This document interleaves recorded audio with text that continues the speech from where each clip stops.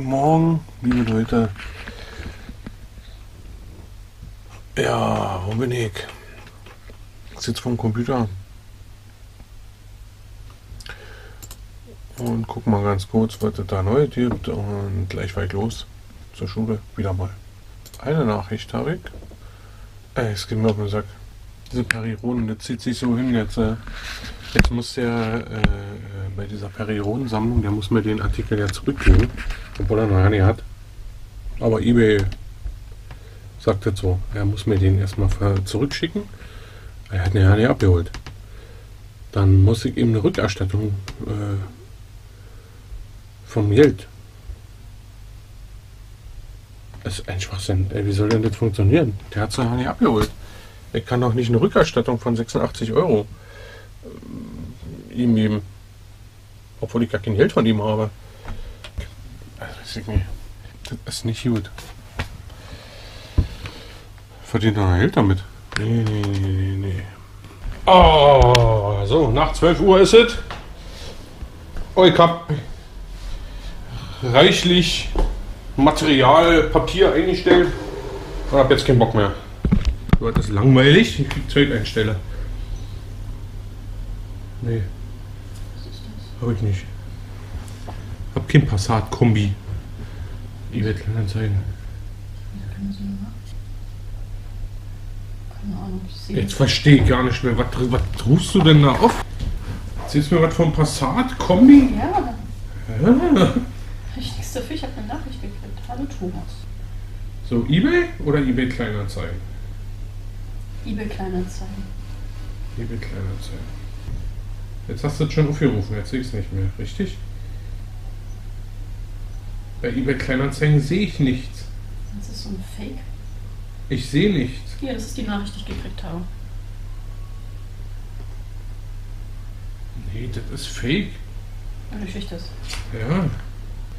eBay Kleinanzeigen, was letzte Preis? Passat Kombi. Äh? Was für ein Passat überhaupt? Montag, 11. Februar 2019, 8.47 Uhr. Was hast du denn für ein Problem?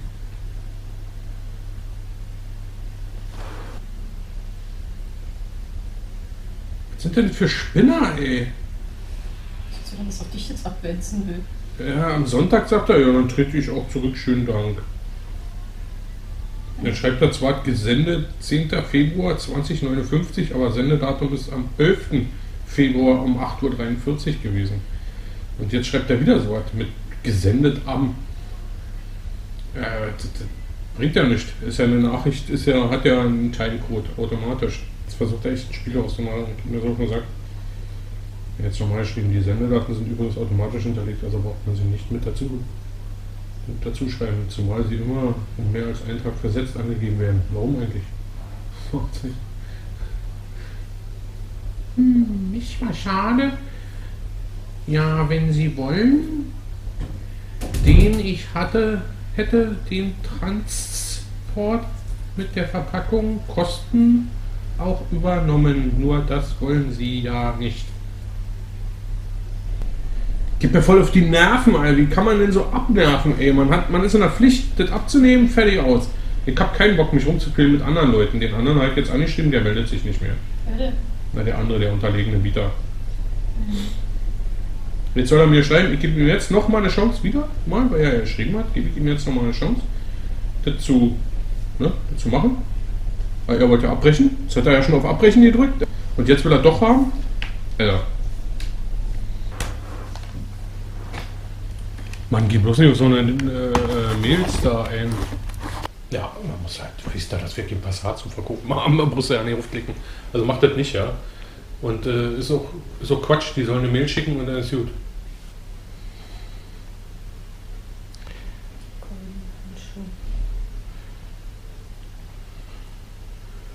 Guter Film. Ist ein guter Film, aber.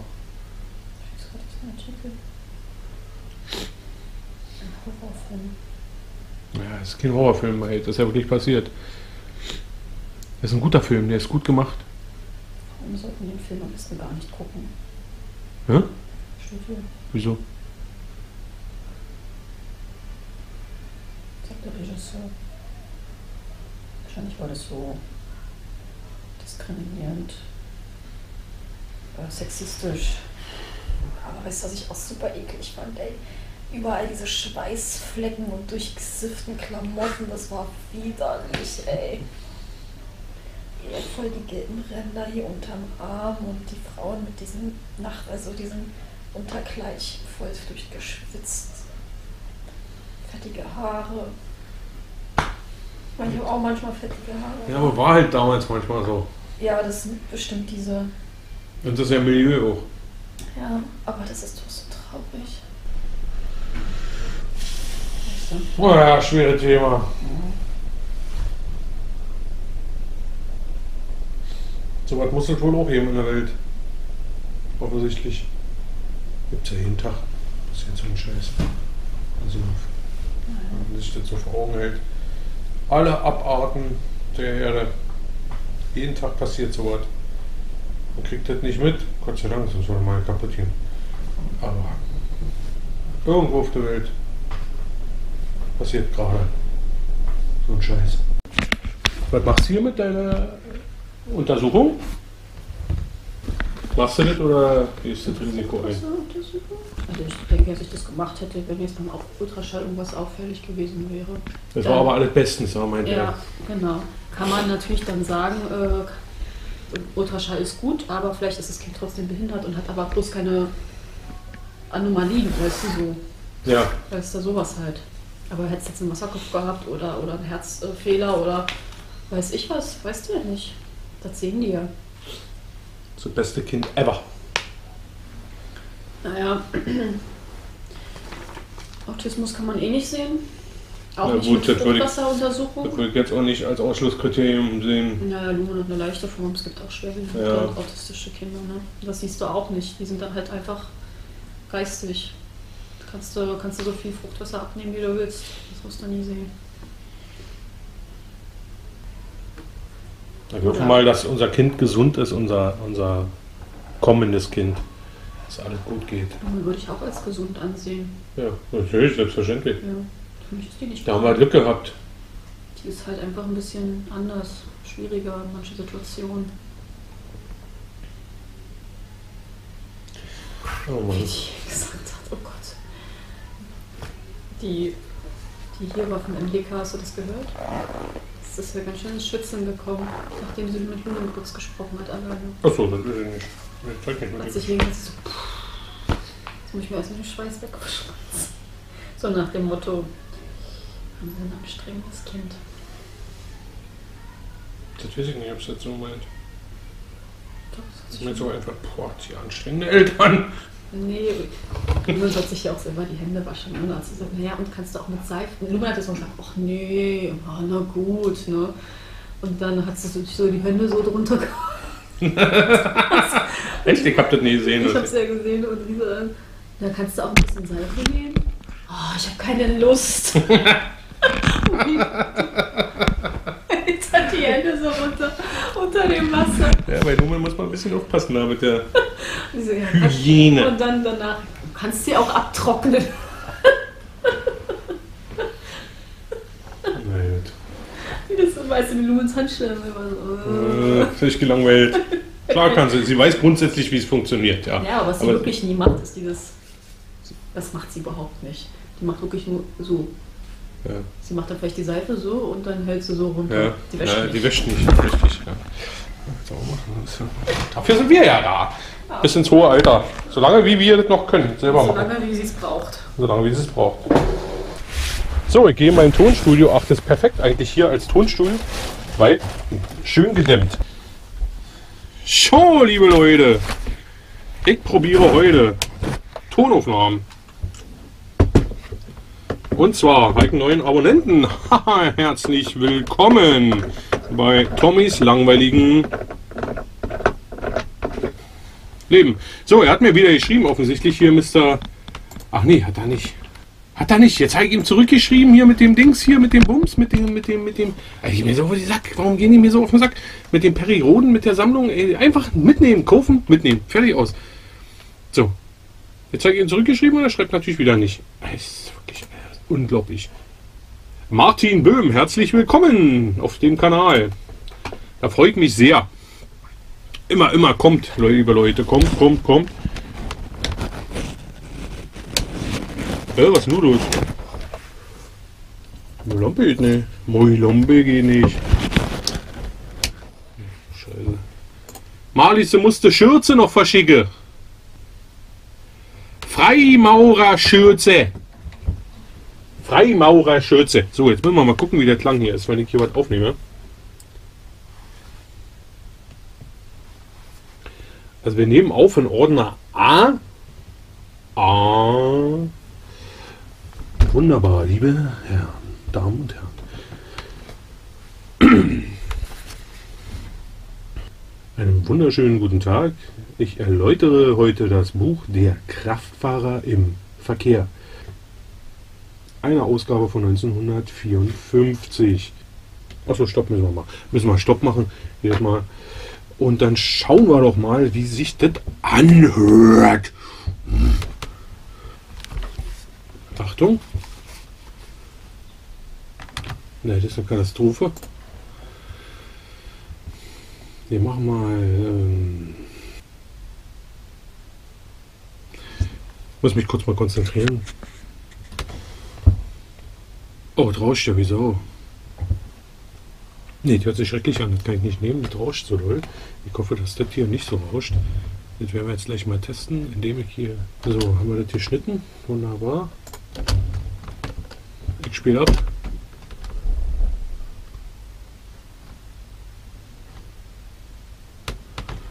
Wunderbar. Haben wir. Und so geht das weiter. Jetzt habe ich gerade mal das hier. Ich halte es mal ruf, damit das hört. Der Kraftfahrer im Verkehr. Tellus Verlag Essen. 1955. Ja, das dauert ein bisschen. Ja, ich versuche ein kleines Video zu machen über nämlich ein altes ähm, Fahrschulbuch oder Fahrschulheftchen über die alten Verkehrsregeln, wie sie früher waren. Und da versuche ich ein kleines Video zu machen, weil hier sind wunderschöne kleine Bilder drin und so. Da habe ich mir überlegt, da kann man ja auch aneinander schneiden und reinstellen.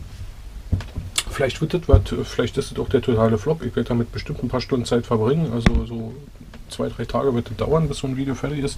Vielleicht muss alles eingesprochen werden. Der gesamte Text, der hier drin ist, der muss dann eingesprochen werden und äh, die Bilder müssen bearbeitet werden. Das dauert, das dauert schon, das sind äh, über 100, 200 Bilder. Die, das dauert schon einen Tag ungefähr, die zu schneiden und, und, und zu rendern und so. Und äh, das ist eine richtige Arbeit. Das werde ich immer so nebenbei machen, immer wenn ich Bock habe und ich, wie ich höre, hört sich das ganz gut an in dem mit dem Aufnahmegerät hier. Ist ja nicht umsonst, ist ein gutes Aufnahmegerät, hört sich besser an als diese Rauschen, was wir hier mit diesem super Mikrofon von Bayer Dynamik oder so, ja, diese super teuren Mikrofone, da haben wir echt schlechtere Qualität gehabt. Aber ich denke, es liegt nicht am Mikro, sondern liegt tatsächlich am Computer, der das ja abnimmt, der das aufnimmt. Ja, von diesen Mikrofonen. Jo, schauen wir mal. Schauen wir mal, ob das was wird. Äh, Würde mal sagen. ich habe zu tun jetzt. Ich weiß ja nicht, was ich jetzt als erstes machen soll. Ich glaube, ich mache erstmal vielleicht noch zwei, drei Tonaufnahmen, die ich einfach nur aufspreche und dann äh, bearbeite ich nachher die Bilder. Also es wird bis 22 Uhr bestimmt dauern, das Ganze. Ob ich heute noch was schneide zum Hund hochlade, werde ich noch sehen. Ansonsten würde ich mal sagen, sehen wir uns vielleicht morgen wieder.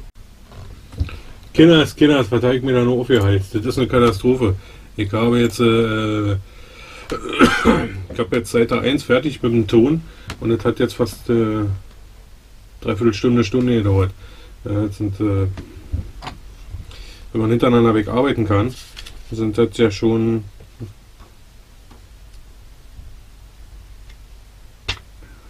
...32 Seiten.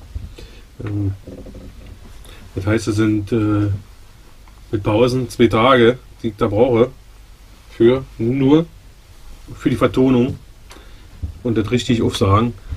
Und äh, da muss man echt aufpassen mit der Stimmlage, dass man die nicht verändert. Die muss man erstmal beibehalten. Tja, einfach ist es nicht. Aber das Gerät, dieses Diktiergerät, ist absolut Gold wert. Das macht ja wirklich geniale Aufnahmen, was den Ton betrifft. Also da ist ja wirklich hier, äh, ich meine, ist eine GoPro, die macht auch noch Videoaufnahmen dazu und so und ist viel kleiner und so. Aber das ist wirklich Olympus, ist wirklich top. Also finde ich dafür, dass das so ein kleines Gerät ist, ist das ja schön gut. Ja, ist so keine Studioqualität, aber fast schon, könnte man fast so sagen. Schlecht ist nur, dass meine Frau zwischendurch die Tür einmal vorne zugemacht hat und man hört das natürlich. So gut ist das Gerät, dass man das natürlich auch hört. Das ist schlecht. Deswegen muss ich diesen Teil sogar nochmal einspielen. Ja. Wie auch immer. Äh, ich werde das machen. Ich werde mir da drin ziehen. Auf alle Fälle. Ich werde jetzt ein paar Bilder bearbeiten, damit ich die Seite 1 quasi fertig habe. Ja, das werde machen. Und ich werde diese eine Stelle nochmal einspielen müssen. Und zwar folgende. Wenn du infolge geistiger oder körperlicher Mängel dich nicht oder nicht mehr sicher im Verkehr bewegen kannst. Das war die Stelle.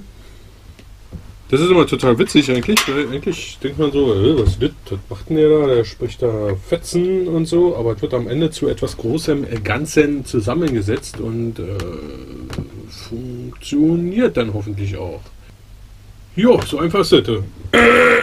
Also viel mehr einfach ist es nicht, aber so einfach mache ich das jetzt. Jetzt äh, hole ich die ganzen Fotos, die ich gemacht habe.